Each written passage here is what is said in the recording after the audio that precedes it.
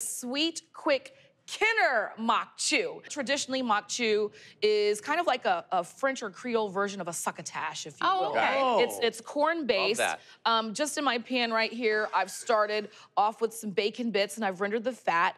I'm gonna get some of the Trinity in here. We're all familiar with the mirepoix, which is carrots, celery, onion. Uh, but in New Orleans, it's celery, green bell pepper, and white onion. So GZ, the most important part of this dish is the corn next to the flavor profile. You're gonna have sweet corn, right? Yes, Really good sweet corn. Sweet corn in the Ooh. summer. Hook me up with just getting the kernels off of six okay. of those. Um, so right into the pan, I'm just gonna get the white onion, the celery, and the green bell pepper. So after you render the fat out of the bacon, I still want a little bit more fat to hook up the vegetables and flavor. So butter goes in. I use salted butter. That's what I usually buy in the grocery store. And then a little bit more salt uh, to tenderize and get all of the moisture out of the vegetables. I'm gonna turn this up.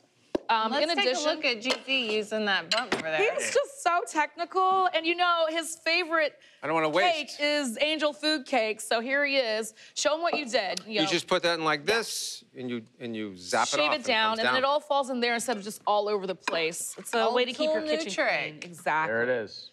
So I'm just gonna um, have up some heirloom cherry tomatoes, but you can just do regular old cherry tomatoes, doesn't matter, but I just love the colors and the sizes. Into that, Ah, look at I'm gonna add in the tomatoes. I can add in the garlic so it's not gonna like get browned and cook too hard. All right, so that's gonna cook down a little bit.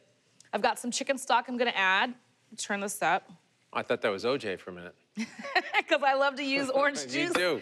Actually, It wouldn't- you it would be could. pretty good in this. You could. So I'm just gonna let this cook.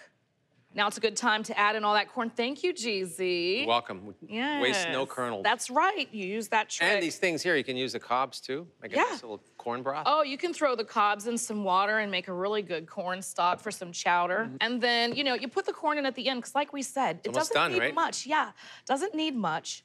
I'm just gonna hit this, and another reason why I call this Kenner maque choux is a traditional maque choux will have like a little splash of heavy cream at the end or something like that. So I'm a little left of that in Kenner. I put some Greek yogurt. Oh, Wow. look at Never seen this. Greek yogurt. Listen, Katie, you have influenced me to be slightly healthier. Ah, I like and it. it's a working. vegetable dish. Yeah, and then the, Greek this is yogurt. just Little bit a of little bit bacon of in there, don't cayenne forget. pepper. Not a lot, Vitamin B. just a little bit of cayenne pepper, kind of like company heat. You're having company over, you don't want to go too crazy. like a lunch heat. friend. Yes, yeah, like friend, friendship heat. But now in your family, you know what you really want if you really want to go crazy. It's like a relish. It is like a relish. This is a Don't burn condimento. It's a yourself. condimento.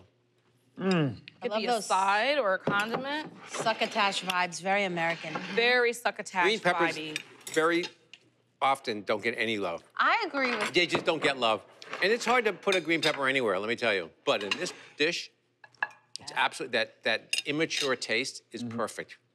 The baby pepper taste. I was gonna say immature. Yeah, the I like taste. that, GZ. Mm. I'll tell you what. With the little sugar burst. Yeah, everything has got a little, its own individual moment of bursting in your mouth, right? The corn. Like fireworks, huh? Right? Like Independence fireworks. The, Day. Ah. the, the tomatoes got the juicy burst. The corn has that sweet burst and the perfect little green peppers with your trinity, which is essential in here. And it, it didn't take you but five minutes to put that together, and it's all about peak freshness, peak ingredients coming together. This beautiful summery bite. I love this, honey.